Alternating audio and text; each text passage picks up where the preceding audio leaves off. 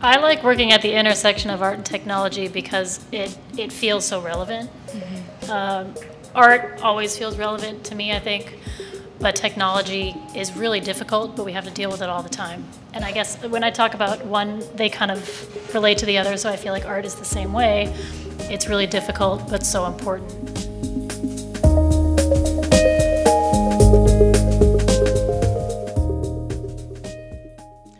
We're going to talk tonight about uh, personal relationships or intimacy in a digital world, human connections in a digital world. Um, and um, what do we mean when we say the digital world?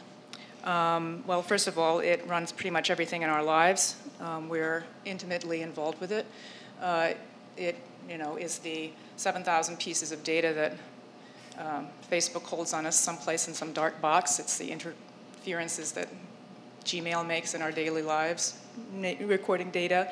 It's the all the programs that underlay the sewer system and the city lights everywhere. It's our sleep apps. It's uh, how we consume politics and um, history and culture. Um, so uh, yeah, it is ubiquitous. Um, and despite this, all this personalized data and convenience, we want to know, does this make us actually closer to one another or does it drive us apart? Mm-hmm. Uh, and so these are all these questions. We're not going to answer all of them tonight, but we're going to cover three parts of them, basically um, how the we relate to ourselves through this digital interface, how we relate to others, and then also how we relate to nature. Um, and uh, since the other artists have already been introduced, um, I'm going to get right to the questions. This is how it's sort of going to work this evening, is that we're each going to describe a bit about uh, the art that we do, um, and uh, people will be allowed to perhaps ask questions during that, um, but also at the end. Uh, and I will pepper them with sort of general questions that uh, will interrupt their flow as they go along. Much um, like the internet. Much like the internet. Um, so the first person who is going to talk is Keaton, Keaton Fox. And um, you know, one of the things that I like about your work is it's so sort of average and like quotidian and uh, not special, and yet you take these little sort of moments and you make resonances with them that just sort of move outward, um, and so they become special in this way. Um, and um, so Keaton is a multidisciplinary artist. Uh, she's an educator and a curator. Uh, and she is the assistant director at Boston Cyber Arts, which puts her in a good position to understand a great deal about this subject. Uh, she's exhibited nationally and internationally, physically and on the web. Uh, and she creates visual experiments that explore playfully the varied realities of our time. Um, and she's especially interested in those that are frustrating. So um, uh, I'm going to start by asking you to just begin your presentation and okay. uh, talk about some of these projects. Okay, sounds good. So, my name is Keaton Fox, and I'm here today to talk about um, how technology has changed the way that humans interact with one another. And I'm going to show you that by looking at three different projects that I've created over the past six years, I would say. Um, so, yes, I'm a multidisciplinary artist educator, curator, all these different things. And I also have a lot of ways that I work with media, just like I have a lot of different titles. So the works that we're going to look at today are there's one installation piece, one video art piece, and one painting project. So let's just get right into it. Oh, this is my art of opposition. So because my work is so varied, um, there's one, I wanted to talk about this one idea that really holds them all together, and it's the art of opposition. And it's this idea where I find things that are opposing ideas and put them together. And I think that's the most interesting way to learn about anything in this world is to figure out what one side thinks and then the other side and put those together. And it's how I make my decisions in my everyday, and it's also how I create my art projects. So some of these themes look like natural and virtual, academic and accessible, which goes along with art and tech as well. I think the art world and the tech world can be really um, come off as pretentious and mm-hmm. not accessible to everyone. And so for my work, my personal work at Cyber Arts, in every aspect of my life, I'm trying to make it so that everyone feels like they can have these conversations like we're having now mm-hmm. because we're all going through it. And so my work reaches tries to do that um, by being silly and significant at the same time and bringing together individuals or individual moments with communities. I think also with technology, we are on our phones a lot by ourselves in our rooms, and so I think it's important to use technology to bring people outside and together. So the first project we're going to look at is from almost six years ago. It's called Emo TinderCon.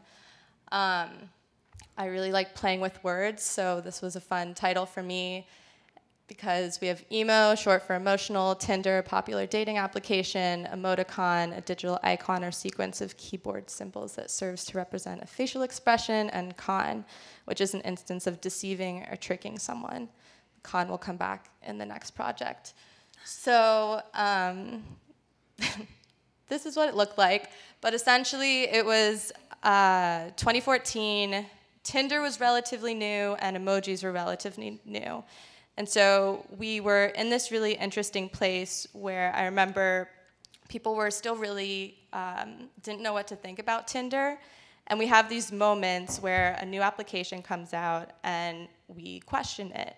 And then I feel like these moments last for a really small amount of time and then we stop questioning it. Much like Uber or Lyft. I remember when that first came out, I thought I would never get into a car with a stranger, and now I use these applications all the time.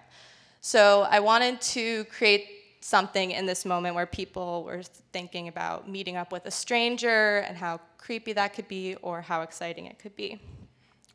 So I just graduated from college. I was minoring in anthropology, and I was also thinking about how Tinder could be this really kind of warped but interesting way to get a case study and see what different people were thinking about something at a given time. Obviously, this is flawed and would not be used for actual research, but for art and for fun. So I knew I wanted to ask some kind of question or do something with this kind of group sample, but I didn't know what it was. So then I looked to emojis, which had blown up. People were using them all the time to communicate, but we were using them in this way where we were using them with words. So it was kind of this luxury where you're using words to communicate something, and then you have this symbol that either strengthens what you're trying to say or maybe makes it more nonsensical. Do you think we are going to move to hieroglyphs again? Well, so that was kind of the impetus of the project was I was looking at hieroglyphs and seeing how this came full circle in such a fascinating way and was wondering whether because people were using them so much, wondering whether we would go to that and just only use images in the future and, or use images more than words. And do you have, like I do, like I'm sure we all do, do you have a list of the emojis that are missing? That you yes. Like castanets. Yes, yes. And I have another full project that goes through that because yeah. it, it, does get really political mm-hmm. because you're, it's like a language and if you mm-hmm. don't see yourself and you don't, you can't explain what you're mm-hmm. trying to communicate with the set that's there, then that can cause some real issues. So that's what I wanted to explore exactly and see okay, the good and bad parts of this. Like, if we only were using images to communicate, that would make a more universal language, which is interesting. But then, what kind of conversations can you have with only 270 characters? So, this all came together, in the form of an installation. It was really simple, really DIY. Um, we had a projector, and it was set up to this iPad, and you could only use emojis to communicate. Um, at that time, I had set it to only male because I didn't know how queer I was at that point. So all of these are just men. But um, we'll go through, and you'll see if you go to the next slide. So if you go back one, yeah, you can see how people, different people responded. But then there was this really special moment with um, Christopher. And so he said, also on my Tinder profile, I didn't have any pictures of my uh, face, so I had a mask on. So he said, I'm going to assume all those, or what's going on behind the mask, random emojis. I'm going to assume these are all emojis because I have a really shitty Android, blockety block, blickety blick. So then, I don't have a lot of time, so we're going to kind of go through this, but he just starts talking about all the hot topics of the time. So we have Ukrainians in the UN. Uh, he goes into net neutrality. Um, if you go to the next one, talking about Warner and Comcast. Jesus, slow down. I don't mean to offend you, babe. Um, so who are we talking to online anyway? Exactly, exactly. And you can see kind of gradually as it goes on after the Time Warner Comcast. Um, if you go back one, thank you. You can see I say, okay, round of applause, like this is pretty funny. And then if you go on to the next one, just keeps talking about all this stuff and basically is talking to himself. And then you have this hard eyes, and then these emojis that really expressed how I was feeling at the time because it was like I can't, I literally will not allow myself to communicate with this person because I have to stick with the project. And so then he keeps going on, and then we started talking on August 9th, and then nine months later, he got a new phone on March 9th and said, So I got a new phone where I can actually see the emojis, and you totally thought I was charming. so that was just one outcome of this project. Um, but it really gets into these core concepts of okay, if he hadn't updated his phone, what would have happened? And then you think about that in the larger scheme of things. If people don't have these updates, can I communicate with them with emojis? No. Okay, well, what if they can't get Tinder because they don't have an iPhone? Okay, well, then I might never meet them. And then you go in these different routes and you're like, okay, if I meet someone on Tinder, and what if we get married, and what if we have kids, and what if we have a whole family? Of emojis. of emojis. Or what if the perfect person for you doesn't have an iPhone and you can't meet them online and then your life takes a completely different course? And then we can talk about like free will and fate and all this stuff. But this was a fun little project that again is silly and significant in different ways and looks at how it can be how we can communicate in funny ways with tech. Great. So we can go next. So um, um, we're going to buzz very quickly through yes. the next two things. Yes. But as a kind of like, uh, you know, amuse-gueule right now, I want to ask all of you, what is the best part about working at the intersection of art and technology? I'll let one of you answer that first. I like working at the intersection of art and technology because it, it feels so relevant. Mm-hmm. Um, art always feels relevant to me, I think but technology is really difficult, but we have to deal with it all the time. And I guess when I talk about one, they kind of relate to the other, so I feel like art is the same way. It's really difficult, but so important. Um, and I, I feel like the art that I make becomes more relevant when I use technology because it brings it into the present moment. Mm. What about you, Lani? Yeah, I like using technology because it's one of those things that like we have it in the palm of our hand. Like we all have access to it, mm-hmm.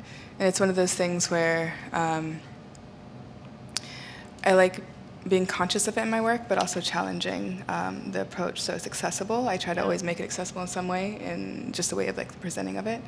But I also like to complicate that, so I think there's is something it, interesting in that. Is it even correct to ask, you know, whether about working with technology when it is so pervasive. Um, it's, it's like just, it's not even a medium anymore. It is the entire surroundings that envelop us. So. Um, but it's still new. It's still mm-hmm. called new media. It's still called new media. How yeah. old? I mean, technology itself is what as old as. But yeah. I think it's pretty humanity. exhausted, mm-hmm. right? Because mm-hmm. there's like the point yeah. where people just overwhelmed, so they just like accept it, like we accept, like you know. But many artists work with all kinds of, of, different technologies, you know, that go way beyond that go way beyond the digital. Um, yeah. They, you know, may work with, you know, like uh, I don't know city systems or um, things that we don't actually, data that we don't actually see. You work mm-hmm. with data we don't see. Yes. well, I think we all do, like even your Tinder stuff. Mm-hmm. Like that's that's data, that's personal data that we're putting mm-hmm. in a database and using right. in ways to connect to other people. Right. Um, so yeah, I think we're we're still learning how to use it too, and that's mm-hmm. why I think it's important to have it part of my art. Yeah, I think practice. it's powerful too. Mm-hmm. And it's powerful to use it to, to discuss and bring up conversations that are hard or difficult or maybe considered as like old school mm. or old history. Mm. Okay, carry on now. What's your second All right, we'll go real fast. I love this one. Okay, so this one also has to do with Tinder. um, We like Tinder. yeah, so we can just play it and then I'll talk over it. Tender. Um, so fast forward a year, still making art, still weirdly using Tinder as my uh, medium of choice, and Such a good sound. So, like, like I was saying before, my Tinder profile didn't have any pictures of me on it. So it had, I was wearing a mask in one picture with a leotard. There was a picture of my hand in one. There was a picture of my art, a lot of pictures of my art, but never my face. And so, um, essentially, to make a long story short, one day I'm on Tinder and I get a notification that says that my account is going to be banned because it feels like spam, which was an insane feeling to me. And I, the more I thought about it, the more frustrated I got. And I thought, you know, who did someone say this, or is this the AI tracking me down and saying that I'm not working with this well, or who's who's telling me that I feel like spam? One. And so then I started researching it more and found out that someone had flagged my account. And once I figured that out, it got really dark in my head because you're on this application and most people are using it to find someone that they will love or hook up with or what have you. So if you're getting flagged for putting yourself online the best way that you know how, and the way that you want to, and the way that you want to express yourself, and you're getting told that that feels like spam, that's a really disgusting feeling, honestly. So then I started researching spam, the word, where did it come from? And then was thinking more about this can of spam and what that actually feels like. So, excuse me, so you're actually collaborating with people in this unintentional way. Mm-hmm. Yeah, definitely. And so bringing it back to how we're communicating with humans and technology, like the last project was a really cute way of looking at that, and this is a really dark way of looking at it, where people are rejecting who you are, who you want to be online, and the fact that they can. And so this video just basically goes on and on about just, and the sound is really disgusting and it smelled really weird in the apartment when I was doing this. And, but essentially the point of this piece is to talk about um, who, who can we be online if we can't be ourselves and all the things that happen behind this pane of glass that people wouldn't say that to me maybe in person, but because they're behind this glass, all they have to do is tap, and then all these feelings of disgust and all these questions come about. Right. So, And now you have something with lots of green swirls. yes. so that's what it looked like when I was reported. Feels like spam, inappropriate photos. Of your art. Oh, of my art and my body and my like my hand. So this is I'll just read two sections of this. Someone wrote this about the piece, and it said, She did not display the female body, she did not display the female face. The latter was cause for concern, the latter was cause for warning. That spam, the source of this undesirable sensation, may even feel the way her body feels. This body, pink, feminine, malleable, flaky, pungent, squishy, an acquired taste. So there's more on that, but you get the idea. Okay, so the last one I'm going to talk about is green screen dreams. Um, this one I worked on this year and last year, no Tinder involved. Um, after that last project, I said no more. So I, coming back to the human-to-human communications with technology, this was a project that I started because I was sick of working alone, which is what a lot of people who work with technology have to do And art. and art, both of them. So went on a real lonely streak and decided that I wanted to collaborate with other people. At this time, I was working as the education coordinator at Cambridge Community Television, which is an amazing place. I can't say enough good things about it, but a really good place to come for creative people who are looking to express themselves through media. So I came up with this idea or this question, and I asked 10 people that the day that I was at CCTV, what would you paint if you could paint anything? And nine out of 10 people responded and said, I can't paint. And I thought that's so interesting that they, they're not even going there in their mind, but they're saying, no, I can't paint, so I can't answer this question. I can't even think about this question because I can't paint. So I'd been doing a lot with green screening technology because I, I call it green screening technology. No one calls it that because it's not new and flashy, but I'm obsessed with it. I think it's this phenomenal idea where one color can change the background or essentially the reality that you exist within. So I wanted to do something with green screening. And so I went back to those same people and I said, I want you to come in and I want you to paint this canvas green. And then I'm going to interview you and talk about what if you could paint anything and really think about it. You have all the painting abilities in the world. What would you want to paint? So I had a couple different people. I think there were eight in total. This is them all posing with their art that they did not want to pose with. and so you can keep going. So you get all these really different designs. And for me, I when I go into galleries and see paintings that are all one color, I this is what I feel like. I'm like, it's interesting, it's cool, but I need more of a backstory. And but these were all fascinating to me because everyone had these different strokes. And to me, these were already art, like done. They already created these magical paintings, but they didn't see it as that. So I was thinking, okay, how can I use technology to have them see what I'm seeing and to have them understand that they can be painters and that they are painters? And so you can go back one. so then I recorded them all talking about their dreams and made these videos where I took out the green paint and put in photos and videos of what they had sent me, of anything they wanted to draw. Someone really wanted to draw aliens. Someone really wanted to draw warm, beautiful places because she was sick of living in the cold. It was wintertime.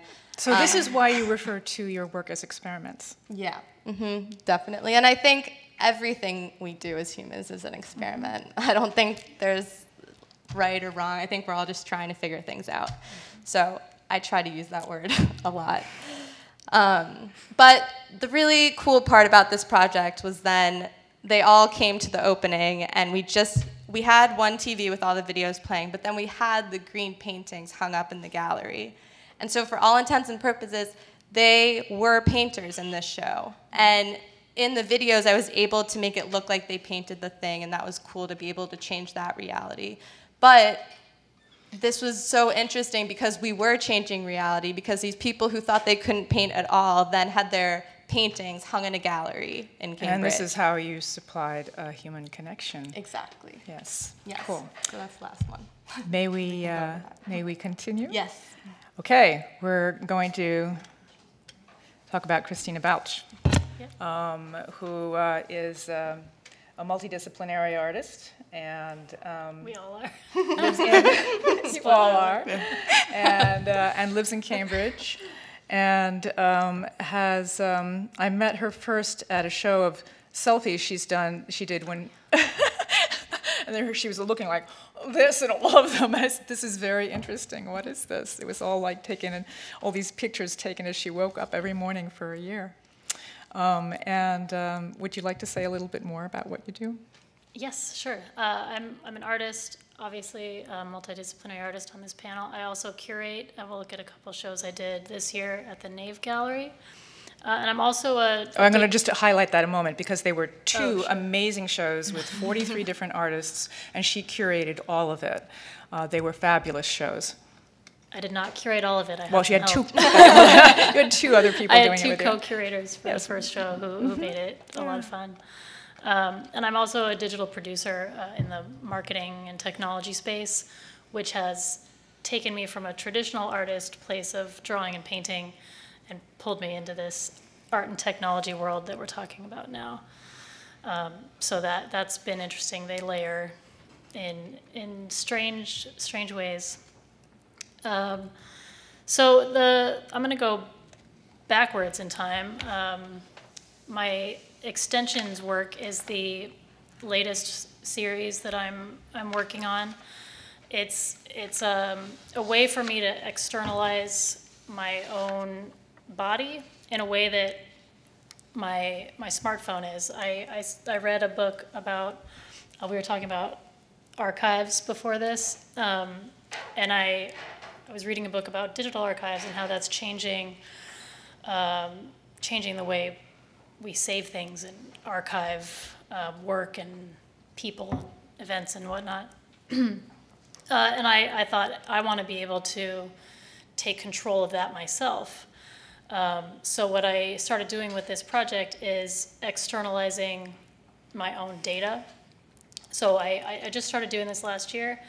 Um, the data sets that I've been working with so far are my heartbeat. I've done that one a lot. It felt like a good place to start because that's life, right? Um, if I don't have control over my own heartbeat, what do I, what do I have control over? Uh, and then I looked into my text messages too, and just recently I've started um, exploring my medical records.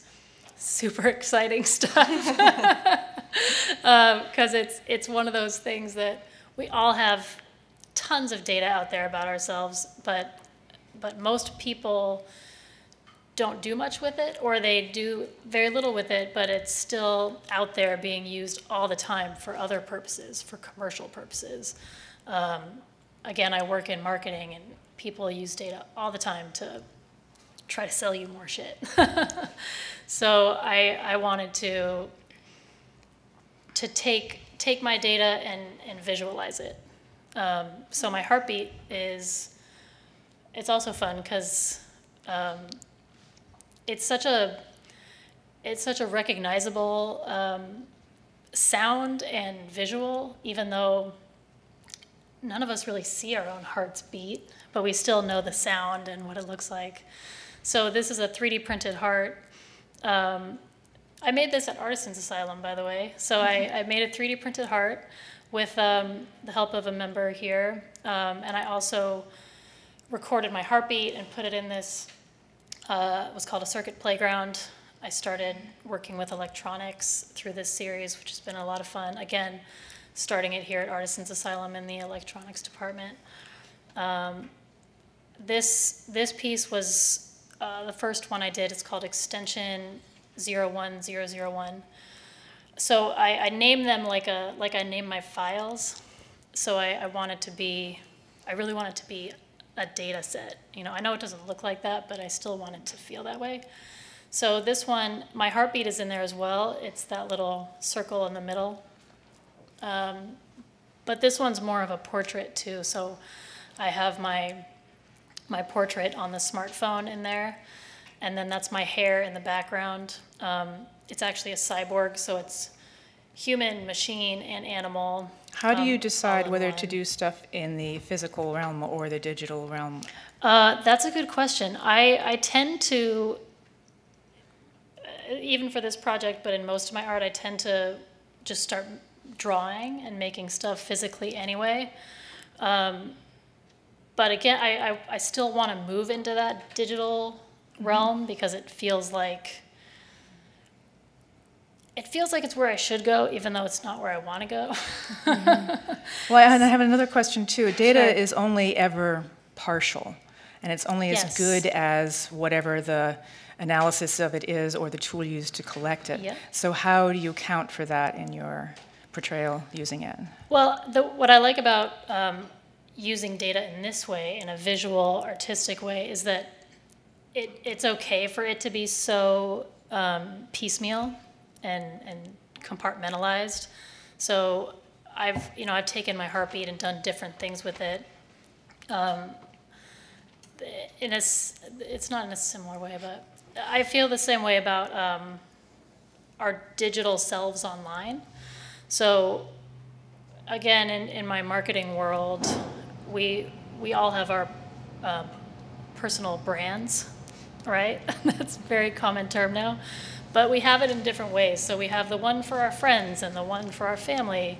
And we don't want those two to cross, so we keep them separate. And then you have one for work on LinkedIn, you know, all these different profiles and, and versions of yourself online. And I, I like to take my data and do that in a way um, with these extension pieces. They're all little mm -hmm. pieces This is a little bit like Lynn Leeson and her. There's a little bit like Lynn Leeson and Leeson and her three Robertas. Lynn Hershman Leeson. yeah, yeah. yeah. Yeah, I love her her work. She she did a a series decades ago, you know, before this sort of technology was around, where she she created this alter ego called Roberta, and who had a like credit card and a bank account And psychiatric records and everything. Yeah, it was she, like it was should- Roberta and Lynn went to separate psychiatrists, uh, and then more recently, still not. uh, And then she made a digital version of herself. well, then yeah, then she made Cyber Roberta, Right. which is a doll. If you saw the ICA Boston show, um, Art in the Age of the Internet, it was there, and you could you could move it. You could go on your phone and like control its head, and, and it could watch people. Um, so I, yeah, I love Lynn Hershman Leeson's work, um, and I, I like the way she she portrays herself in different ways. Um, well, that was actually a totally different character. So I'm not doing that. This is actually um, my own data, and I, I tag it with my own name, like it's mine. Um, but I, I like to I like to show the different facets. So this is a, a digital piece that I did. It's it's a on a web page. It's it's a drawing. It started out as a drawing, and then I I coded it. Um, and I love that it still looks like a drawing. Uh, and my heartbeat is still there in the middle. Um, so this this is it's a this is a digital version of the physical sculpture that I made, um, which I don't I don't necessarily want to have physical and digital versions. I'd like to have just digital versions too, but I, I still like to have that human touch so it doesn't look so digital. So I still have that drawing element in it. Um, yeah, so those You, are you my have uh, you have a lot of data exposed and available to people to people now. What do you feel about the privacy issues involving data? Uh, I, I feel like privacy issues, data privacy is a hot topic, and I, I think it's a hot topic, but only for people who really understand it, and I, most people still don't care. You know, they're like, whatever, as long as I get Tinder for free and Facebook for free, I, you know, they can have all my data. But of course, the more, the more the layers are being pulled back, we're seeing how they're actually using our data, how we've agreed for them to use our data, which is probably the scariest part. Um, and we're realizing, wait a minute, I think that's too far. Uh, but they're like, nope, we're already going. Sorry, we, we're just going to keep taking, taking, taking, and selling, selling, selling. So I think it's, it's something that, again, I'm trying to take more control over it and have more awareness of it by collecting my data, which can be time consuming because it's not easy, uh, and then visualizing it in a way that I visualizing it in a way that is something that I like, which is a very vague statement, but but there's there's no real rules to the project except that I'm externalizing a piece of my own data. Uh, and I've done I've done some more work with text messages, um, just kind of digging into my text message history, and again drawing it because I I don't love the way digital clean design lines is. I still want it to be hand drawn, so I'll do that a lot. Um, do you know Brian Kane's project where he's taken his um, digital database and inscribed it on granite? Yeah, I love that. I, I think we talked about that, and I, I th- all I could think in my head was, where the hell is he going to store all that stuff? Because it's I think it's a project on one of the out islands in Boston or something like yeah. that. Oh right, yeah, yeah. So so I love that the the idea of Your drive making being your taking your digital data, which is meant to be so compact and you know easy to transport and send, and and then making it tangible and physical and heavy and I- I really completely like unusable and, and unwieldy. completely useless. Which is what most of it is anyway. There's Yeah. so much data about each of us out there, and 95% of it is not being used, but it's out there, and So let's- somebody could take it and use it at any time. Let's look, at the next image with the uh, some, with the nave show yeah, here. so so avatars stemmed from also stemmed from this idea of digital memory and um, our digital selves online. and how we as artists represent ourselves in different ways. So I, I, I curated two shows at the Nave Gallery, um, just down the road. One is Avatar's Ghosts, and there were a lot of different artists in this show. Um, this is Rachel Chatil, X-Ray Ames, and Julia Checo. Um, this the show uh, I curated it with Juliana Funkhauser and Krista Wright, who are in San Francisco. Uh, it really opened my eyes to all the different ways that technology and the way we represent ourselves now in the age of technology, it, it's really um, how varied it is. So, I mean, like there's Julia's piece here um, as Tom, uh, be on a cell phone, it's a video.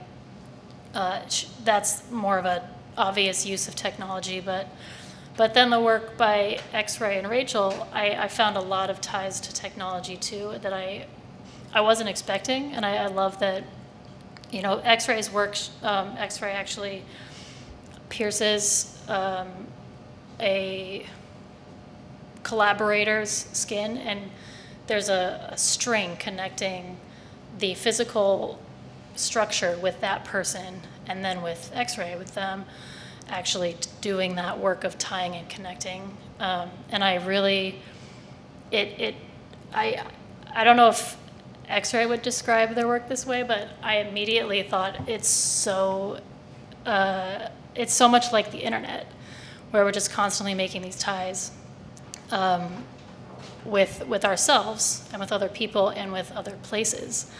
Um, and then Rachel's work on the is the kind of tree-looking piece there. Um, this is in reference to uh, historical past. Um, there's I, I, won't get into it, I think, but uh, and then the second show was called Avatar's Futures, and that was more more technology, more new media, as we call it. Um, although this this is a giant painting here, um, so it it's that's by Tonia Stone. Yes, Tonia yeah. Stone, who's, who's also in Somerville here. Um, and this was a big video and um, uh, installation by uh, A. Marcel.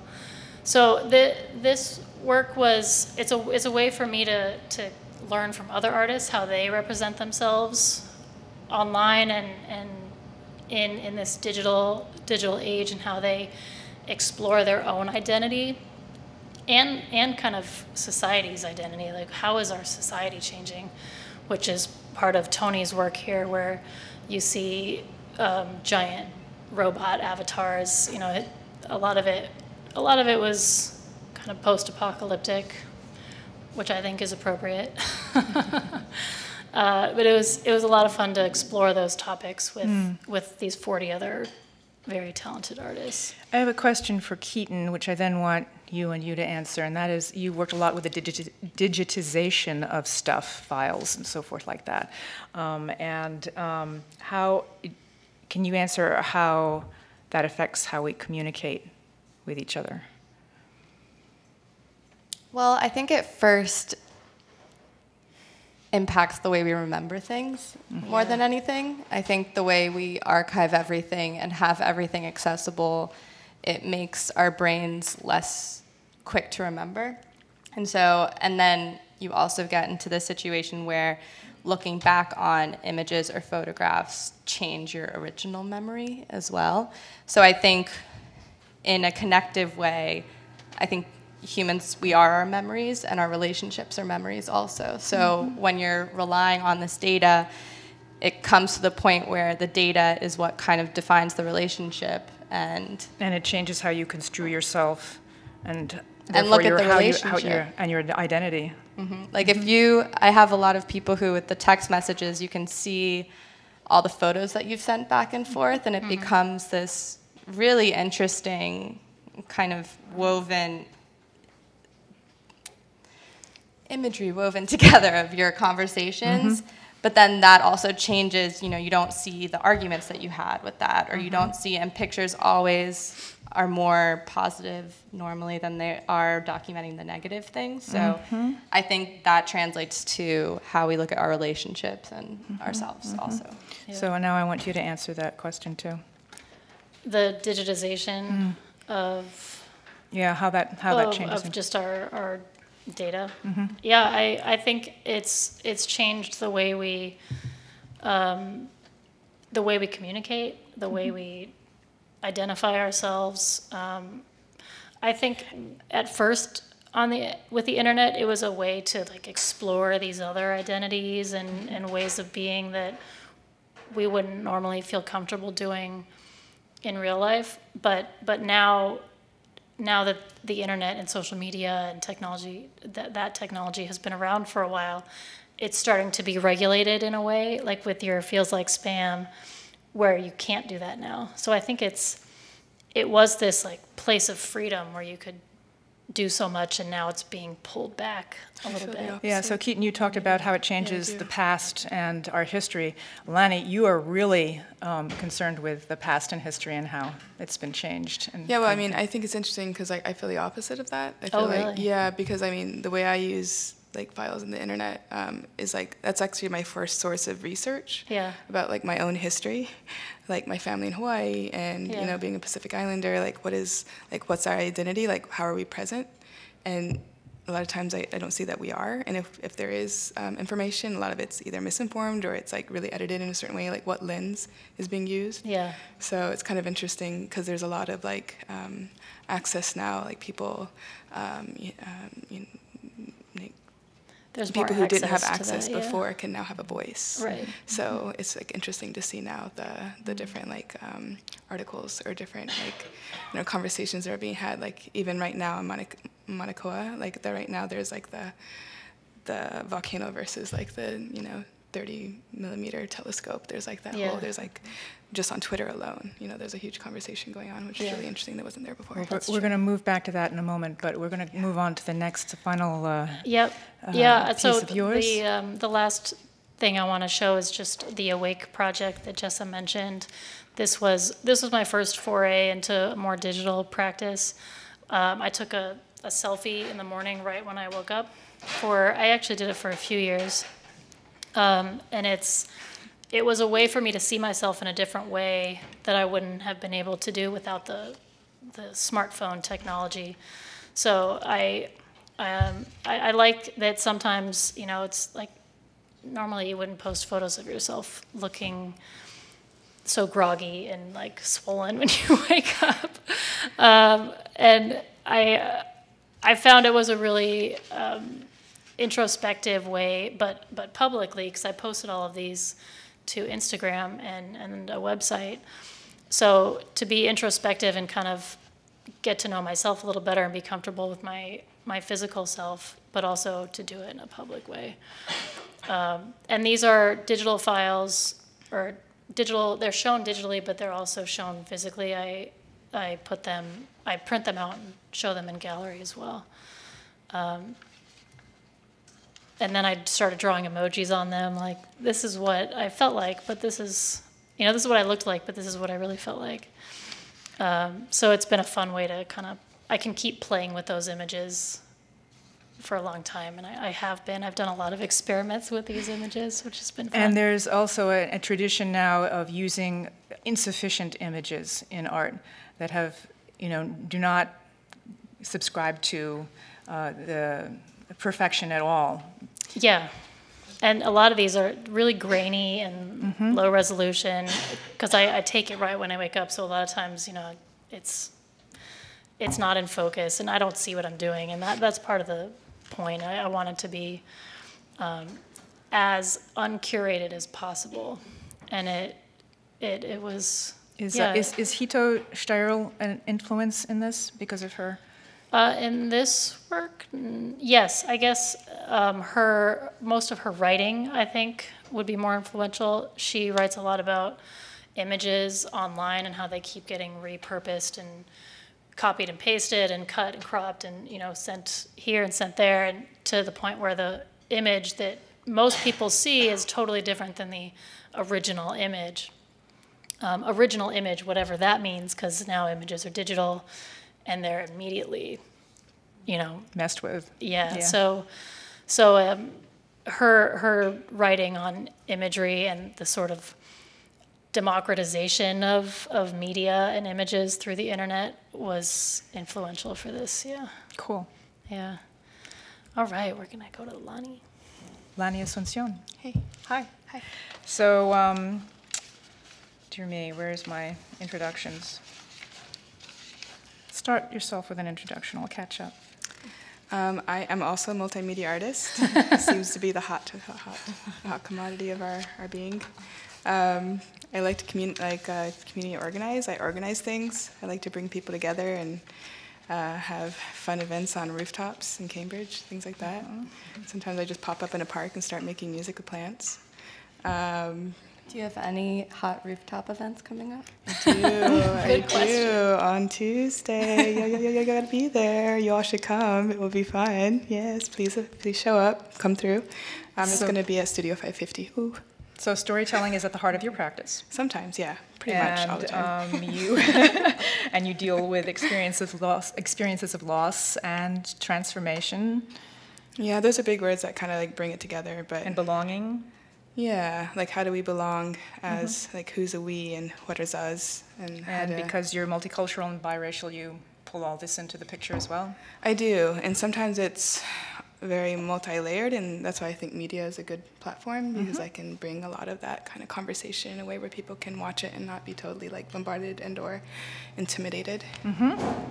Yeah. And you use nature um, in your work, actual and yeah, and processed. that word nature to me is like so loaded. So it's like Yeah. I kind of want to unpack that. Um, literally onto my lap. um, so yeah, I um, when I graduated from UConn, I focused a lot in um, video and performance. Um, I come from a background of fine arts of painting and sculpture and printmaking. Um, so I was really trying to figure out like what is video and like what does that mean to me. Um, when I was doing my thesis work, I was thinking a lot about um, Andrei Tarkovsky, the um, Russian uh, director, um, you know, the guy who did Solaris and Mirror and Stalker, um, and like what was it to use video in a way where it was like slow and like what is Western or Eastern time, like literally, like what does that mean like culturally and how do we break that down in media? Um, so I had all these like theories like running around in my head, and I was like, well, how do I actually like do that in my work? So I had my first residency in Troy at Contemporary Art Center, and I had access to this whole church. Um, so if you go forward and you go and start playing the video, um, next slide. And so this video is called Bloodless, um, and I was in a church, um, and I was trying to figure out like what do I do in this church? It was creepy, it was dark, it was awesome, and I found a hibiscus plant, um, and we can just turn down the volume.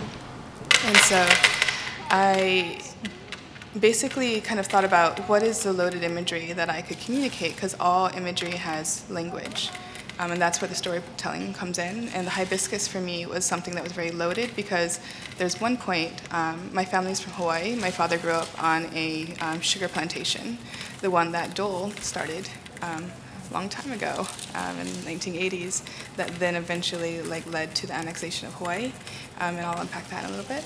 Um, but I was really interested in how this one plant is kind of like symbolized, like people associate it with Hawaii. Um, and the actual um, state flower is a yellow hibiscus, but it looks very similar to the red one, and it's actually very different. And the red one is not native, and the other one is. So, So you're using these to unpack your cultural identity then. yeah, and so some people might understand that maybe, and some people might not, which is fine. They don't have to know all of it, but I think the feeling still comes through, and the complex conversations still come through.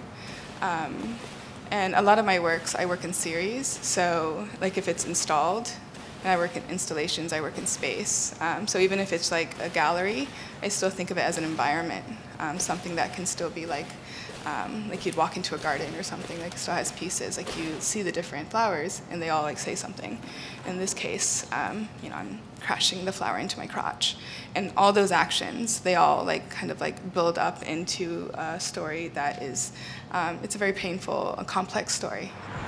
One of the things I like about your work is that it's somewhat pedagogical, but uh, it uses this real time aspect you've talked about so that you feel the changes happening. You don't just understand them intellectually, you feel them interiorly. Right, and that's why I love Tarkovsky's work because he did a thing where you know, and it pissed people off. They were like, "Oh my God, this is so long. What the hell?" But there was something powerful in like, like kind of commanding that attention, right? Kind of like, like real time. What is real time?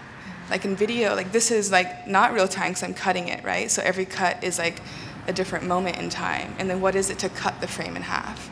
And so that's how I was using the actual like technical aspects within video to create like that tension, that pain that existed within that, that story and that timeline. Um, so Bloodless um, was like the quote unquote war that happened right before um, Dole and his business partners, and apparently um, the Boston Naval um, fleet that came over to kind of back them up um, asked uh, the queen at the time, you know, to step down, uh, Lydia Kamehameha, um, to step down. And it's just interesting to me, um, just like how do I express all of that in imagery, and how do I, you know, there's like connections within my own histories, but how do I portray that in like two minutes or six minutes? Um, and a lot of this actually is pretty long because the actions are still happening. Um, but that's when I brought it into post and just started like literally cutting it up, and it did feel really aggressive, and so it was really interesting to kind of experiment with that. So this sort of this brings up sort of like one of those big questions, like you know, so what is reality here? How important is it? Uh, which is, I'm going to ask the rest of you. How does how does digital, um, working in the digital realm, uh, both create the reality of being human and also rip it apart? You mentioned uh, the part about looking at all those photographs as a way of seeing only a small element of reality, such that the rest might be forgotten. You have a long timeline that includes everything, seemingly. Sometimes. Sometimes. Right. Um, yeah, I, I think it's actually really important. I had a professor once said, you know, Lani, you use that weird sound, that really weird stuff.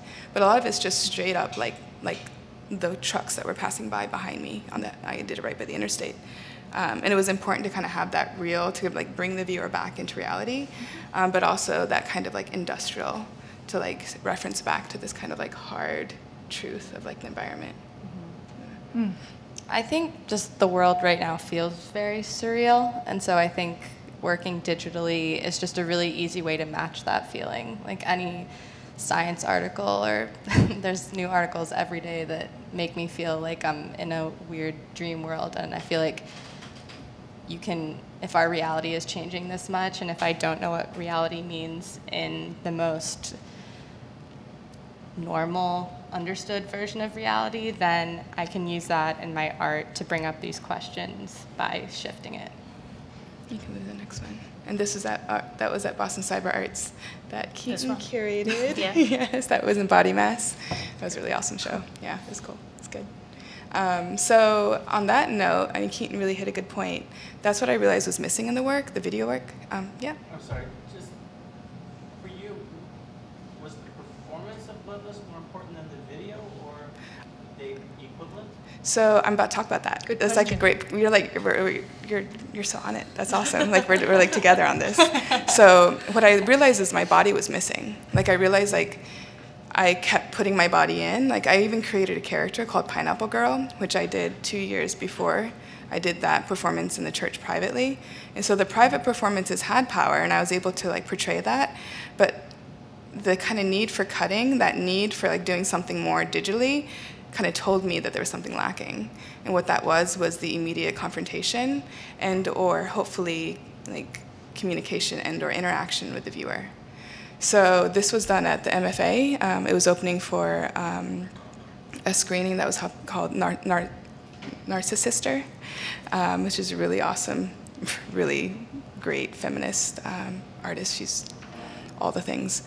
Um, and I was really honored to be able to perform this kind of before um, a screening, which I really liked that it was paired with like video again, and also the video is very complex with the way it's like performative in its video and whatnot. Um, and this actually became really emotional for me. And it was interesting because like how i can see all of you. I couldn't see anybody because it was so bright the light.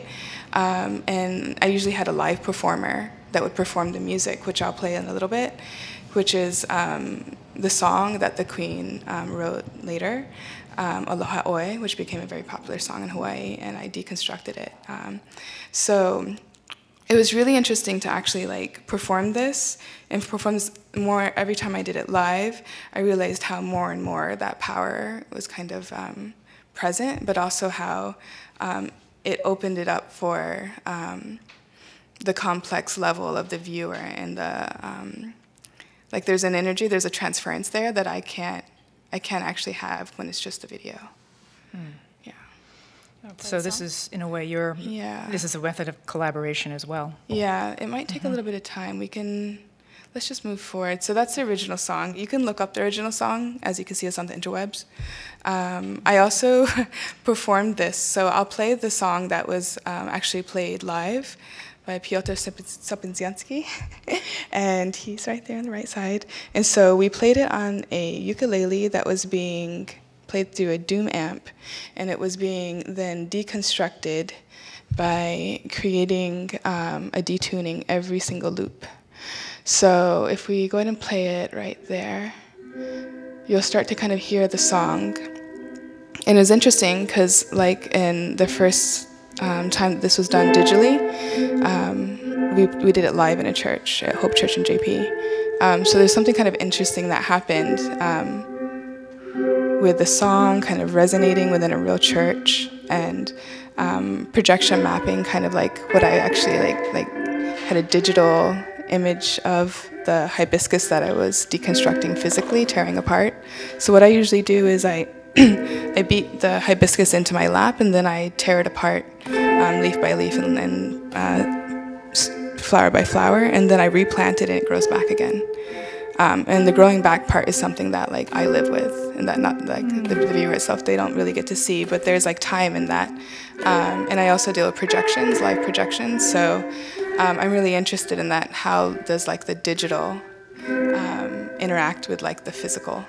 Now, you've also done other interesting things with sound, like taking the growing cycle energy of a plant and pushing it through a, a MIDI thing to Yeah. form. Yeah, we can move to that. Um, human garden. Stuff, yeah. so the human garden. So we can go right back really, really quickly.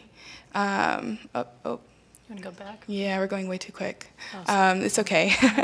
um, so I, um, when I moved here two years ago, almost two and a half years ago, soon to be three. Oh God.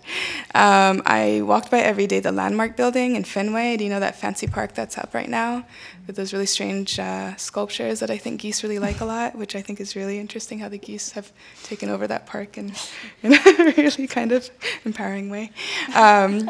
So I used to walk by when they would have the construction fence, and it was like this fake.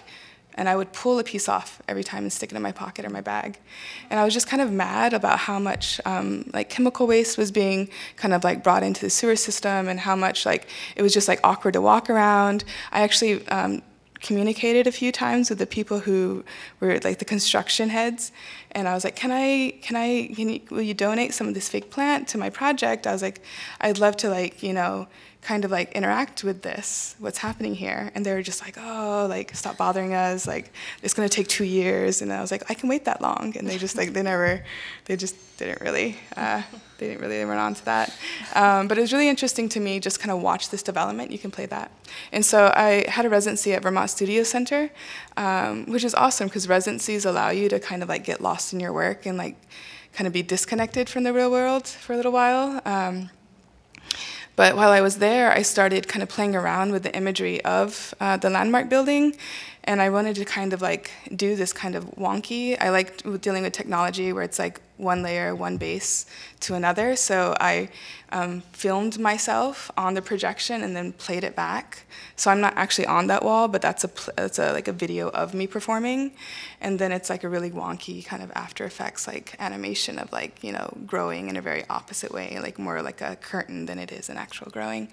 Um, so this actually kind of like started my whole exploration um, with like what does it mean to be connected to green spaces and how do um, corporations or how do people who have power and or access to land what, what is land ownership how do they construct these spaces how do they use them as pawns to create then um, like to have access to, you know, put up a whole block of office buildings um, instead of living spaces.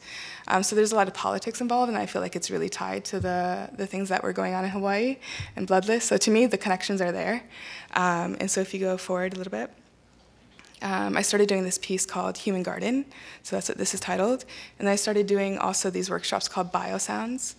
Um, so it's where I take a biosensor, a MIDI sprout, um, I'm using a very like basic one that I bought from this guy in Cambridge. I picked it up in like a, a, flea market. I bought it off eBay. It was really rad.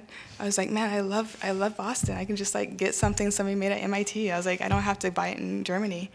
So I needed one for this workshop. And I ended up doing a live performance in Ramler Park, which is like right next to where that development happened. But this park has native plants, and the volunteers who volunteer there have been volunteering for like five or eight years. And the woman, uh, Frankie gave me a tour, and she showed me all the different local plants. And if you go there, there's a little teeny piece of paper. I should have put that up. And it says, it like maps all the like, native plants, and it tells you about them. And so it was really rad to like, I just got a permit from the city, and I like chucked out $150 and I got PAs. And I asked my friend to come down, my friend Sean um, from Philly, um, and he, oh, we together performed um, with these plants. So the biosensors connect to the plants. I'm connecting it to a synth, and um, his sound system. He had a little synth, um, and we were basically taking the energy patterns from the plant and then turning that into music. Um, and now you do biosound workshops too. Yeah, I did it at the Boston Children's Museum, and kids are like so rad. They have a lot of patience and care for plants. The only time I ever had to tell somebody to be like, "Whoa, be careful, you're gonna hurt the plant," was like somebody's dad. And I was like, I was like, dude, you can't pull it like that. You're gonna like hurt it. And so the sensors are like they're just little um, EKG like sensors. They're like sticky, and so um, this is like a young person like messing with it there and can you say a little bit more about how this brings awareness to environmental issues? Yeah so the way that the sensors work is like conductivity. So there's a negative and positive connection. Um, so it's really nice because i can tell people like young people their parents like all of us that you know there's energy and connectivity within plants and there's also that happens with us and there's a connection there. Um, and then if you move forward a little bit and um, there's also ways that like we can control that um, and thinking maybe more about how how can we use technology to, con- to connect more with plants and how do we just in general connect to them so i try to as i do these workshops have those conversations have that kind of roll around what and are actually, some of the answers that you came up with um, well, the kids are like, this is cool, and they really like it. Um, and parents are just like, this is science. I'm like, yeah, yeah, it's science. And, and they're like, it's art. They're like, yeah, yeah, it's art too. And we're just like, have these conversations of just getting excited about art and science and like mm-hmm. just making music with plants and that we can do it together. Because the conduct, like, you have to like have a congruent like chain, right? So there's ways to like connect to the plant and connect to each other. And I can actually have it to like if I hold your hand and you hold mine, we would have a connected current. And then if we let go, it would be broken. So I want to do more workshops where like there could be like just communal like basically people playing in the park and holding each other's hands, which is like something that we like miss, right? Yeah, and it's like how do we get people to do that more in a way that um, is just natural or even just brings up thinking or just makes them feel kind of good and they just go home they're like oh that was nice you know but it's like just having that feeling that kind of connectivity and that that play and just that thinking it doesn't always happen because we just get so used to you know being in a park that was made for two years or something. It's amazing that you were able to do that with technology. Yeah. bring people together to hold hands just to play. and play with plants. Yeah like that's all i want. But it's parents brought their kids because it's STEM. Yeah, yeah, yeah, yeah, right, right, right. Uh, man. But it works, right? Yeah. And so I kind of like, I have that humor. Like, this is the first time, like, doing, to me, this is the most accessible project that I've done in the sense where I could kind of connect all, like, even my humor and kind of like bring it in. Because the other stuff is so heavy, it hurts. I have to step back from it for a while because it just hurts. It's just like, sorry, can I say on, on okay. I mean, it's that painful. And then so when you're doing this, it's like, oh wow, like, like I had one of the people who were working at the museum. They started crying because they didn't expect it. They didn't know what they were walking in on, and I was just Yeah. like, they're just like, oh, the kids are so happy, and they're connecting to like the plant that sits in the corner most of the time. Yeah. And people overwater it or something, you know, because they don't really know how to connect to it. So the digital world is not so impersonal as we might think. Right. Hmm. Yeah. And I've had people say to me, well, you know, who've grown up with computer screens, this is an intimate space. The pixels are intimate. Um, and I hadn't really thought of it that way before. But, um, but yeah, Yeah. it can be. A little teeny biosensor that somebody just, you know, used a little teeny breadboard with a couple, you know, transistors and, you know, a couple like sensors or whatnot, just bring it out to a MIDI feed and there you go. yeah, so, great. And right now, the I do have this piece still up at the Boston Children's Museum. It's um, this one I called handmade um, because children walk up to this pedestal that it has a, it's like a little fake grass mound, um, and it has a leap motion which is used for video games, and it's like basically it's an extravagant, an inverted or ex- inverted um, mouse sensor um, that also kind of works like a Kinect camera from your Xbox. Um, and we're pairing it. I worked with uh, Chris Konopka, who um, helped me um, program it through Max and uh, helped me make a um, patch that um, basically took all the extreme, like you're talking about information. Like when you have data, it can be overwhelming. So it just basically like kind of funnels the data into um, emotion, like a, something that picks up the motion of the children's hands. So we probably have children like I mean I heard somebody like some, some kid like stood on it was like gorilla tapping it, and you know we have like kids that bring about like hand action, and so we had to like control that a little bit and still make it so that um, like the intention would control the video in the way that I as an artist wanted it to, but also in a way that would like communicate to the children like something's happening. So when they move their hand over it, it will either bulge if they move this way, it will twist if they do this. It will like if you you kind of like it can twist a little bit if you do things like that. So it really works good with like little children hands. Um, adult hands is a little tricky, and you, it really do have to kind of like have it visible because it is still a camera and a sensor.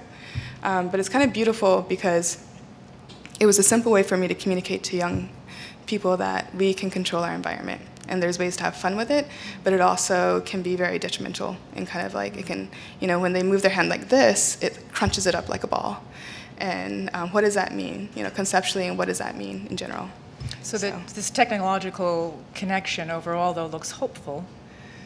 yeah i hope so And yeah and what about a lot of this is nature in an urban environment? What do you have to say about that part? Um, it is, but like this piece was really nice because it actually was in the arboretum. Um, so it was like, and I picked ferns on purpose, um, and it's like a tilt shift lens. So I got really close, and it was like kind of animating this, like turning this very small um, environment into a very big one, um, and also kind of bringing the children into uh, a world. Um, but it was nice to kind of work local, and it was nice to bring like a like kind of one side of the city into another side of the city, and another side of the city, like in the Boston Children's Museum, in the area where it's like extremely gentrified, and there's like, you know, like how do these two places think about each other? What is the land saying to each other? Like, like do we know how? Like, are there, there like spores that move? Like, does one part get to grow in another part? Um, I know that's where my brain goes. but I, I was really excited to kind of bring that in and to bring like parts of plants that are kind of ancient um, that we kind of overlook because you're like ferns. Those are cheap in the store. You know, it's like that's not a, you know, a orchid or something like that. And I love orchids; they're my favorite. But it's just kind of thinking about like, um, I don't know, just kind of again like making something that's simple, kind of special, and like asking for that to be focused on. I want to step back and ask a general question of all three of you. Um, so there was this uh, social media week conference in New York City that, um, uh, and I read a, a HuffPost article about, and apparently the main takeaway from it was how important it was for brands and marketers to quote deliver the human experience. because of how alienating and how fake everything really is. Let's try and make it so fake that people believe it. You know, what do you think of that? I think it's a great um, reality versus uh, virtual reality versus what people want us to believe. I, I think it, it, it goes back to uh, Keaton likes to talk about reality and if it's, real. Dark. But it's interesting, I though, that because the marketing firms are the groups that are driving all of this development. It's, um, uh, and is, are they the legitimate people to do this? though? I think they are. not. they think they are.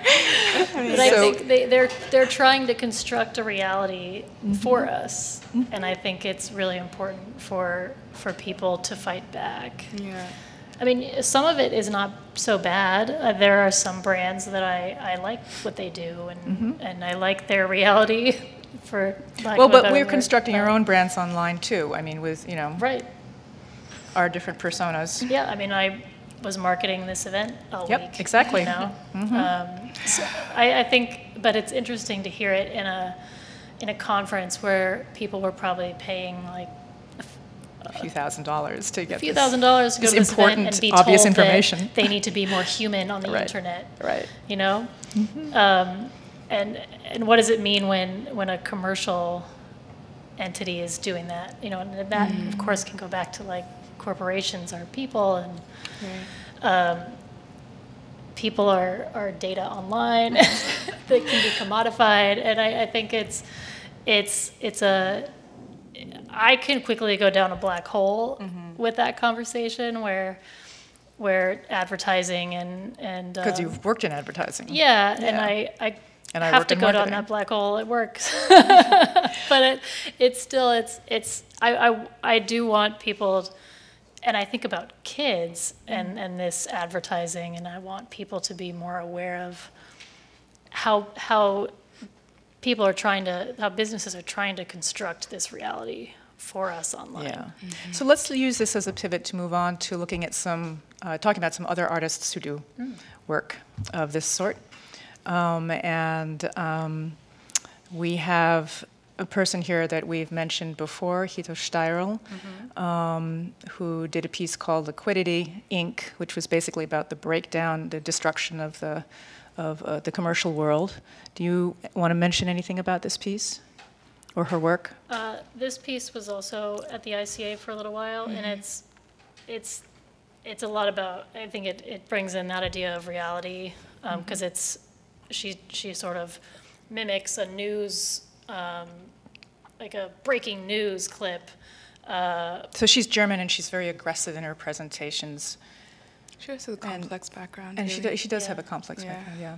Um, But, but this, in this piece a lot, you see it's, there's a lot of like, there's a map, and I think she's talking a lot about climate change too, and like weather and politics, and, but it's in a way that's really difficult to understand, and it's disconnected, and in my mind, very much like our, our experience online when we're trying to, I don't know, do something on the internet, and we, we're so disconnected in what we do. I actually saw her speak at Yale, and that Yeah. Was a bit, yeah, that was like kind of intensely life changing for me a little bit. Yeah. In the moment of where I was She's doing my work, or like work changing, um, in the sense that like she, so it was at Yale, and she kind of created like, she was like dismantling the the talk. So she was like, hmm. she was like, this is not academic, but it was academic, but it wasn't. Yeah. So like I was actually really amazed by how she was able to kind of like not punk the system, but there was just something kind of like really interesting and like I just I, I didn't know her work well enough at the time and then once I knew that I like got all the books and I read her book. She's uh, Um, very academic. yeah. And I think for a lot of people, maybe inaccessible, but she uses very normal, everyday things in Yeah. her work. Yeah, it, it was just really interesting to like kind of experience that and I was like, wow, this is why performance is so like powerful and how amazing it is like even in her like she's like always on even when she was giving the talk that was like our piece. Right. And then we have Joan Jonas. yeah. She's here.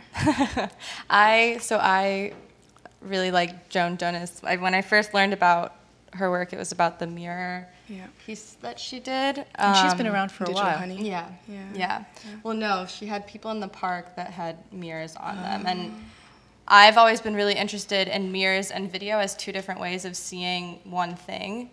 And like with a mirror, you can smash it and it'll still show bits of what's happening around you. But with a camera, if you smash it, it will break. so, but with a camera, you can fast forward and pause and stop and rewind time. And with mirrors, it's just showing you exactly what it is. So I think, especially with mirrors and looking at reality and not being able to record something, it's just this very interesting way of seeing what's right in front of you. And to have people walking around with mirrors that show you what you're looking at, but it's through this completely different perspective because it's not what you're looking at.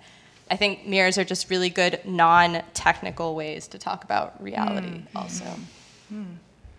And I like the way Joan Joan is, she's very much multidisciplinary mm. and uses performance yeah. and video and, and she uses a lot of, uses a lot of props and mediated yes. images. I, I, I, find that the way she does that That's really uh, inspiring. Yeah, Sonia Woolfalk. Who else we got? Sonia Woolfalk. Yeah. yeah. So, do you guys yeah. know her work? Yeah, it, it's so it's called Afrofuturism, mm-hmm. uh, which I don't, I guess, get. mm-hmm. And then Paddocks is like the um, first series of creating a, a, world that she made up. Um, mm-hmm and be, took the role as an uh, anthropologist. I wish we had more pictures. And, um, it was all female as a world, um, and they had evolved to connect, um, like genetically connect to plants. So she has like this whole series that um, that she was doing, I think, at Chicago Institute, mm. Um, that deals. It was really interesting to me to create all these kind of like personas and take the role um, of kind of like a colonizer um, and then create people to then perform and then create videos around and this is like how it evolved yeah this is like the newer work yeah yeah they're beautiful it's really like moving Fun. who's next ah Lynn Hershman Leeson. I think we'll skip. We talked about Lynn Hershman mm-hmm. Leeson. Um, she does a lot of art and technology, but mm-hmm. we talked about this during mine. Uh, Sondra Perry is a she's a young artist who I really really admire. She uh, works with avatars a lot, and um, this this piece was also at the ICA. It was probably my favorite piece in that um, Art in the Age of the Internet show. It's a modified, you know, exercise bike with these screens in front of it, with her face as the main, um, as the only thing that you're looking at, and she's. It's a very immersive experience, but with very ordinary objects. You think of an immersive experience as like VR with the headset, but it's just, it's like basic computer monitors and a stationary bike. Um, and she, she goes into a lot of the issues with avatars, the way um, we can create avatars. They're very much geared towards male, white centric uh, people, and she had a hard time finding her own um, features and body type and hair when she was trying to create her own avatar. Uh, and actually, um, I saw Jasmine Roberts speak last year, last year at MIT, and she was saying the same thing. Um, and she she just finally created her own. She's like, well, I can't, you know, it's it's I can't find someone online that looks like me, so I'm just gonna make my own. And it took a long time. She mentioned like five different um, software that she had to use to do it. Uh, so, so uh, Sondra Perry, I, I like a lot. She's very critical of of technology and the internet and the way we use it in a way that I find really useful, and I think we could learn from. Pipilotti Rist. I saw this show mm-hmm. down in New York. It was amazing. Uh, it, it, was, you know, I, I was just about immersive, floating in these repetitive, like you know, like uh, imageries that were on like these clouds on the ceiling, like you see there, and um, it was very calming. And I felt Soap and Skin was playing. Yeah. Yeah. Yeah, it was really great. I like her work because she also has been making videos for so long and the technology has gotten so much better, but still mm-hmm. has this mm-hmm. very rough aesthetic yes. and uses the camera in and ways she, and her choice of things like with you know the, the, the bathing women and the teacups mm-hmm. falling together in one of her pieces is like so Weird. Well, this was at the New Museum, right? Yep. So this was on three different levels. So it was a re- yeah. retrospect. So it was interesting to move up between the levels physically. Mm-hmm. And this is actually very different than any of the work I've ever seen. And I was really moved by the people laying on the ground and everybody mm-hmm. kind of like, you know, my feet are tired, we're tired, but it was like a moment for everybody like just to relax. And that was kind of beautiful and kind of Yeah. nice. Yeah. In a bed. Yeah. Yeah. And I, I um, Pipilotti Rist is inspiring to me too because she does video editing in a in the commercial space mm-hmm. and does her work on the side. And I think we all have like five titles each, you know, like five jobs. And I, I found I found that really uh, comforting mm-hmm. to learn that she she had this intense job doing video editing mm-hmm. alongside doing this really amazing, beautiful and innovative video artwork of her own. Is there anyone Let's who start has a question? discussion. As if we haven't been talking. Hi. Um, so I've been thinking about time throughout this, um, even before you mentioned it explicitly, Lani. Um, and I don't know that I have a question so much as just like I want to talk about time a little bit with you Yeah. guys and bring this Yeah. topic up.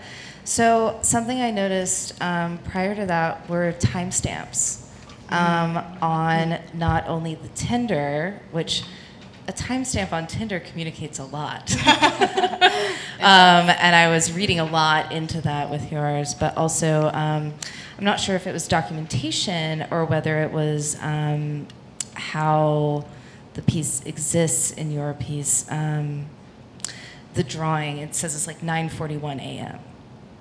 You know, and we talk about how. Um,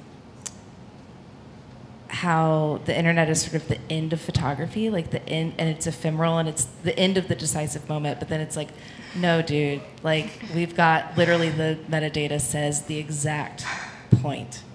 So I don't know. I feel like the timestamps communicate a lot. I think time, yeah. Especially with Tinder, it's interesting because it does, like you're saying, show interest or not, and like how if someone waits a certain amount of time, like with texting is the perfect example. Like I've gotten in so much trouble if I don't respond in a day, and you have so much things like, to do in a day. Exactly, Busy exactly, and then you And get it's supposed to be over a- asynchronous, though, you know, but it implies so much. It's, I have it's friends that much get very pressure. mad if I don't text back. at a certain Exactly, and then you have to figure out which friends will really get offended or which friends won't, and it's just it's madness. But it's insane. But that is especially interesting in communication to one another. How time is this thing that has come along with technology too. Like when you're on the phone with someone, rarely are you checking how long you're on the phone with them or things of that nature. But if you're texting, you're waiting to see if someone responds quickly enough or not. Um, I think time with video is also interesting. You and I both do a lot of performance-based video things, Right. and it is like when you have something on the internet, like the spam piece. I've had a lot of friends watch it, but they scrub through How it, How long is it? and it's not that long. long? It's Tell me. Ah, I don't know. Uh, It- like three minutes and Three something. minutes? Yeah. Okay. Oh, right. it's less than five minutes. It's yeah. less than five, and uh, Yeah. people just really have a hard time sitting through that one. I once in like in school, I in grad school, I did a 15 minute video, and I almost gave myself pneumonia doing it. so I was like, all right, you know, I'm feeling this, and they were just like, they're pissed. My, fac- Yeah. my, my committee was pissed. They're like, how dare you? how dare you make us sit through that? You should edit that. Like, like you're lazy to well, not and edit. that's what you mentioned with looking at how time exists in different Right. ways in different parts of the world. I thought that was Right. so interesting. And my thesis project in college, I edited this video down to an hour and a half, and it was the same thing where I sat down and I was like, no one's going to sit through this. So I made it an installation instead because I knew that people wouldn't sit through the entire thing because it was long, long Right. shots, and you had to wait and sit with it and be there. Yeah, it feels so possessive. I mean, like you know, if Mm-hmm. news is given to me in the form of video, I will scan right by it. I won't. I won't look Mm-hmm. at it a, a news video. I want it written so I can scan and get what I want from it. Yeah. You know. Or you, Well, or you but- want the three second clip. Yeah. Well, I'm Lani. When you go to art galleries and museums, do you watch every video in its entirety? It was really hard the ICA show, that one that we've been talking about, because I tried to go to every single one, but it was really hard. But I spent a lot of time. And somebody was who was with me. I remember them being like, Like seriously? Like, Oh, I had to like, go to, I really, had I'm to go to that show by myself. Yeah, I had to go back. waited back. in line for the VR piece. I had to go I- back I and- watched the videos, not all of them, but most of them. Steyerl's And it- piece, like, like laid with that, and but there's a point, like it's a lot. Well, Yeah. that's the thing, and as an artist, I think you have to decide, and it's really hard to gauge also what exact number are people willing to look at, and what exact so number are you willing six to sacrifice. Five to six minutes is what I was told. No, literally, Really? technically, yeah. I think that's too long. If you think- go to the Yeah. marketing Right, conference, three they'll tell minutes you to two. 15 seconds. right? And that's like if you want to get cut and dry with it. And that's just like messed up when you're talking about things that is Yeah. like centuries of like, you know, like colonialism, you know, like, you know, people like, you know, losing their land or like gentrification. Like, how do you sum that up in three minutes? Yeah. Well, but I think part of what we grapple with is that we don't have to, Right. um, but sometimes you get in this tug of war with yourself, thinking of other people actually a- actually digesting your work and, and you think, oh, well, then I need to make it shorter because we don't trust them to sit down and watch it. But it's interesting. So like the thing of body and yeah, the thing of body and like digital is like I learned that when I performed it live, people were like, I want more, Yeah. which was like interesting to see the dichotomy in that. I was just wondering if you go to um, the Museum of Fine Arts, how much time do you spend in front of each painting? There's some that I just go back to. I mean, I'm more drawn to sculpture personally. um, but yeah, there are some paintings that like I'll stand a long time and just stare at them, and some people would just be like, "Why does that matter?" Yeah. Because then I, but then it would be like the breakdown of all the like the imagery and the you know, there's a lot to there's a lot I'm to break trying down to think sometimes. of. I'm trying to think of one that I would just like sit there and stare at for a long time, but um, I can't. I can't. Has the digital experience highlighted our relationship to time, or is it just the same thing in a different realm? I think it's it's changed it in that we we try to be in so many places at once Right. that time isn't the same. It's not linear. Mm-hmm. So it's it's not linear, and thus that's why we feel like we have to shorten everything mm-hmm. because the distractions are so are so strong. You know. Like nonlinear editing changed everything, right? Like when you have your master, like that's all you have, and you mm-hmm. cut it up. You up and you're like, I'm sorry, and then you're like, wow, like what do I do? Because then you have to take all that time to make Yeah. another master. Now we just have this like infinite amount of changes, And in theory, you could create an infinite amount um, of like v- number of versions of that video or right? whatever. And then your master, sequence is infinite.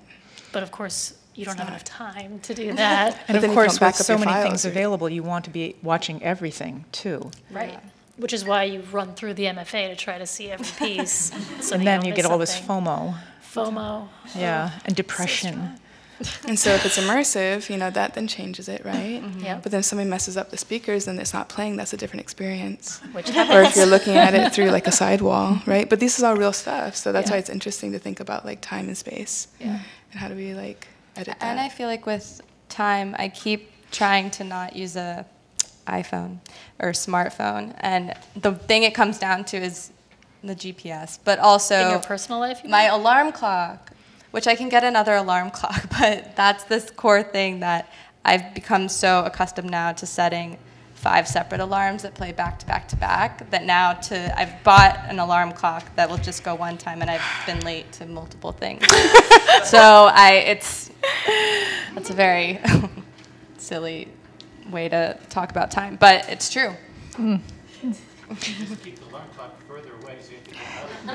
That's true, but Just then throw something at it. So that's I why Get a dream a lot and I'll just go right back. I actually started the Awake Project as a way to get my ass out of bed. Hmm. right. So I had I, I had rules at first, and I, I think I had a time. I was like, that's I have to take I the like picture that. in the first like three seconds that I wake up, and I had to actually get out of bed. Hmm. Mm-hmm. So it's funny if you go through all the photos. In the beginning, I'm in front of a wall or like a. I think I actually was in in my um, living room a lot because I would actually get out of the room because my husband was sleeping, and I, I would take a photo where there was some light. But then if you go towards the end, where I was like starting to get really sick of the project, I was just like laying in bed, and I would, I, I had no more rules. I just take the photo whenever, and then I'd put it down, and I'd go back to sleep. so it totally failed. It just all failed. the whole point. in the all the rules. Um, but I, that time was really important because I didn't want too much time to lapse and then I was awake, and then I was thinking about the photo.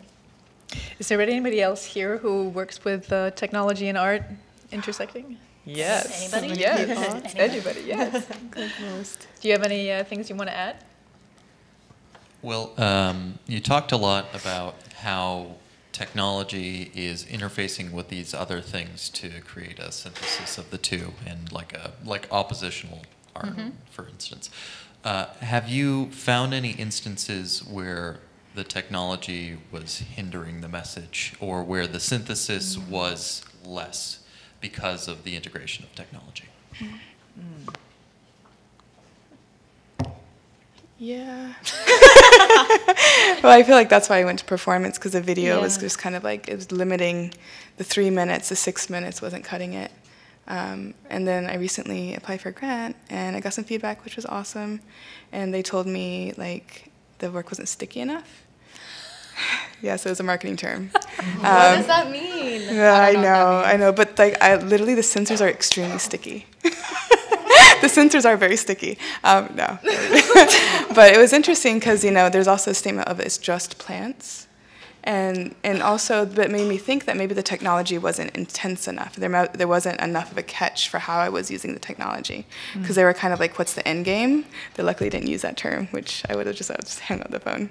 but um, but just thinking about kind of like uh, like wrong with me that that comment of it's just plants, it's not sticky enough and like what does that mean? And like how then does something that incorporates like nature the environment and like technology how does that become something that becomes sticky enough for somebody to want to like you know fund or for a city to like For, want right, I think it's, those are different questions, like for people to care, but then for um, people to fund different Right. people, you know, so. right so it's like interesting like it was very uncomfortable and i was like well this isn't really like that's not this They the are is just about plants. they aren't just plants and i was like this isn't the really about marketing as i unfortunately had to do that Yeah.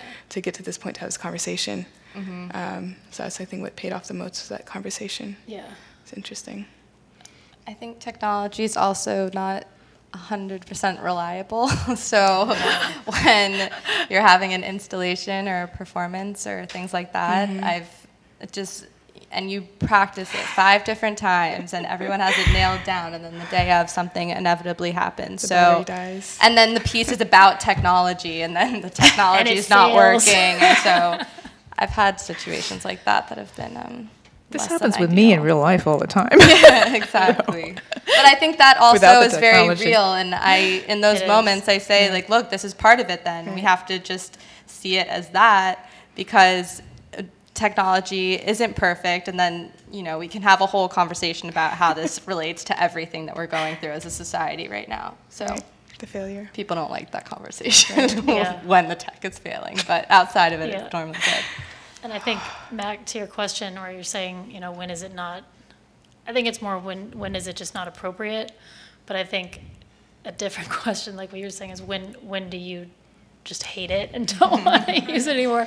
Yeah. And they're two different questions, but often you just like can't handle it anymore, so you have to change it or, or back, back the technology up because it's just taking too long or it doesn't work, or you have to, you know, troubleshoot and, um, that's that's where I think I've had the most issues is just trying to figure out the balance. You know, I Well, then it wanna- all I perfectly use represents life. technology. right? And it's it's much like in in our work life and our personal life. You know, like yeah, g- archiving my digital photos has been on my to do list for like four years. You know.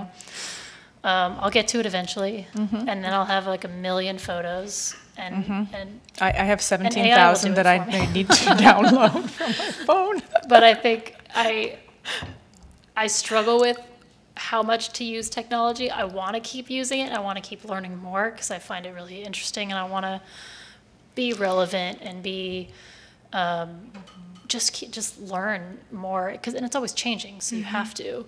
But I also want to take a break from it mm-hmm. and just draw. Well, and I think with the photos, especially, like I think all the time about okay, if I have grandkids, what photos am I going to show them?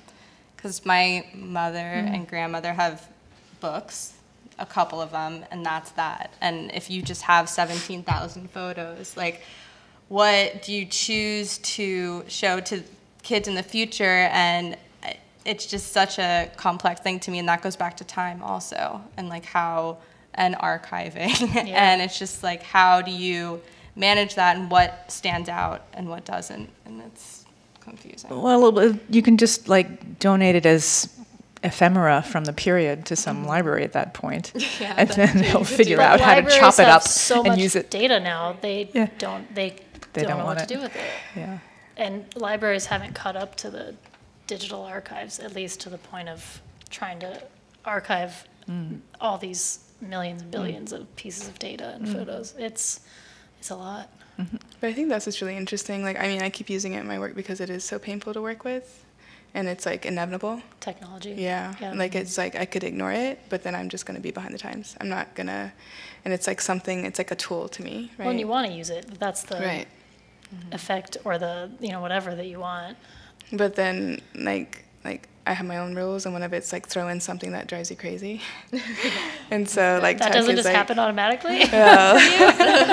with collaboration, being outside, working with weather, technology, and so all those variables. But it's like kind of like, I don't know. I, I, I think it's interesting because that whole kind of experience too, like growing up, like.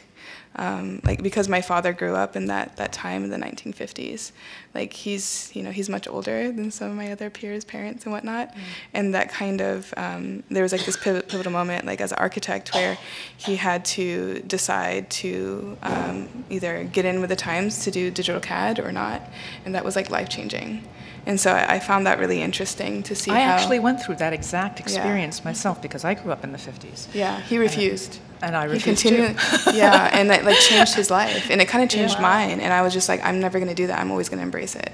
And so we like kind of have run these parallel lives, which has been kind of interesting. On the other hand, I wound up in sustainable technologies, which is all about this Yeah. stuff. So Yeah. you never know. right, Yeah, right. And even if you try to actively reject it, mm-hmm. you still have to deal with it. right, Yes. right. It's And- unavoidable now. So back to the beginning, it's pervasive, ubiquitous, and Yeah. runs us. Yeah, Unless we go I off on a camping trip and turn it all off. Yeah, there's Which so I many do. stories. Yes. But when it comes down to it, like you know, you can't really get away from When it. it can. Are there any other questions? Yeah, so uh, my name is Charity. I, I'm also a, an artist that works on the intersection of um, art and technology and Yep. a lot of different crossroads, um, including like archives and humanities and whatnot. My question is mostly for you, Keaton. Um, so, your work specifically with Tinder and even like the spam piece, I guess I'm just wondering like what what is the deeper message of what you were trying to convey? Because you said with the spam piece, um, the fact that they that they kind of like pulled out your um, your profile and said that it was quote unquote spam was something that you felt was personally offensive, but like you went into the piece specifically not representing yourself, not having any actual images of yourself, not actually having conversations, but communicating completely through emoji. So Was that How before could you- or after? It was after, but I would say that I represented myself in the way that I wanted to, which was by choosing not to use my face. Like um, whenever I've been on dating apps during this time, I w- was intentionally, for art purposes or not, not putting my face on because I wanted to see who would respond to that because I think that I whoever I would want to meet, who I would end up, say, potentially going out with, it wouldn't be based on the way that I look. Right. So that was a choice of how I wanted to represent myself in that way. But with being called spam, that was just such an insane concept to me because it was this word that was created, you know, you have this terminology that's something that's both physical and digital. And spam online is something that you put in your trash folder and you It is not wanted. it is not wanted. And so because being saying that the way I represented myself online felt like something that is unwanted was where everything kind of began. And it was because it was that specific word and the history of that word and how it exists in this physical and digital And form. historically, it's really complex because of like the war, you know, of like uh, it, it, the spam is so popular in Hawaii. Mhm, yeah. Um, and it has to do with like rations and you know it's Yeah, like what's yes. available and survival. Um, Was that your whole question? I don't know if it was. Well, yeah, I was actually looking for more clarification on um, because I know, like, for me, um, I feel like art is something that is used to actually get at the actual like deeper core of you know what makes us human, and you know, like to actually illuminate for people who might not even really consider these topics like. Um, things that are that are important and things that really need to be said and really need to be displayed like i think that you know your work absolutely with like you know you crushing the plant you know it being this kind of like this this um this symbol of colonization and how that, that colonization has, you know, impacted you as an individual and especially like as a woman who was from Hawaii that was annexed, you know, mm-hmm. or like even your work with you putting your, your heartbeat on this physical piece of an actual animal and then having your face on it in a digital space and you're like, you're mixing all these different things. Like I feel like those works actually were saying something deeper. I feel like your work with the spam was probably, like to me, it came across as you wanting to take umbrage at something and then using that as as kind of as your your open doorway to create a work that was visually unappealing but at the same time didn't really have any depth to it Well, so for me, the work is about just the general concept of identity and representing yourself online. And if we have these structures and these systems that are saying that we can't represent ourselves online, then what does that mean for everything, for avatars, for LinkedIn, for who we exist as online, which is obviously a big conversation that's happening now. And we have not only one version of ourselves online, but multiple versions of ourselves. So if we have these applications that are limiting the way that we do that, what does that look like for how people can represent any aspect of themselves online? So that would be the general theme of what it was about. And then the visuals and the sound specifically were to match the feeling of being called spam and just the ickiness that comes from that core concept of not being able to re- represent who I am in the way that I want to. And then knowing that if I don't want to represent myself in the way that Tinder allows me to, then I can't go on this dating app. And maybe I really wanted to meet the love of my life on the dating app. And if I can't represent myself in the way that I want to, then how can I find someone who will want that version of me? Right. Or even just the question of who has that choice, who has that mm-hmm. control to decide who, Who we are and how we can power. present Yeah. ourselves. and who mm-hmm. can say that you should be off of the application and that you That your yourself that identity feels like spam. Right, that you're like, that's trash. But for the integrity of the application right because people are going on tinder because they actually want to meet a person they actually want to connect with a person somebody that they might potentially be in a relationship with have children with whatnot. And so if somebody came across this interaction with you where they're trying to connect with you and you're just replying to them with emojis and you don't even have any photos, and you're on the site that you didn't create, it was created by somebody else, the, the, if those people complain to the people who own the site, obviously they have the ability and they have the right to stop anybody from using the site who will cause people to move away from it. Yeah, I guess my but- con- yeah is why would that be a bad thing? Like That- maybe emojis are, and they were two separate projects. The emoji project was one installation, and the spam was I wasn't using emojis at that time.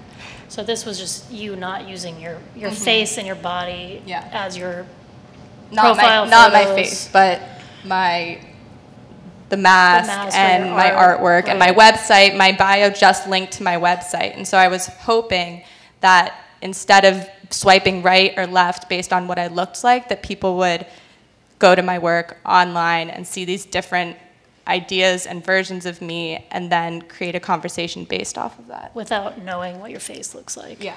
And, I, I think it's super relevant now as we're dealing with Facebook, especially being trying to figure out, oh, how do I control this? How do I stay in the driver's seat as the puppeteer for this platform, but still allow democracy to function the way that it should, you know?